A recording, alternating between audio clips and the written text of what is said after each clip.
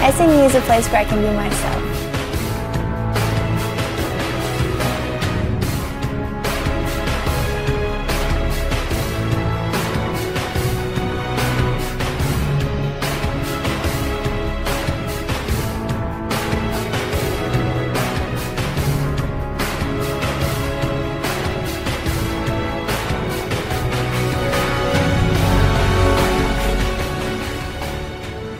I've been at SNU for one year.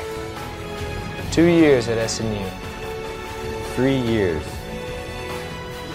Four years at SNU, and I can honestly say, This is where I belong. This is where I belong. This is where I belong. this is where I belong.